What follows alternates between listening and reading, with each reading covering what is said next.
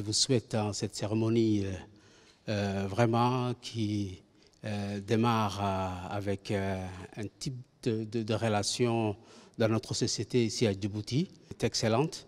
Donc voilà, soyez les bienvenus et comme disaient mes collègues, c'est vraiment être volontaire, c'est appuyer au développement de sa propre vie et de celle de sa société.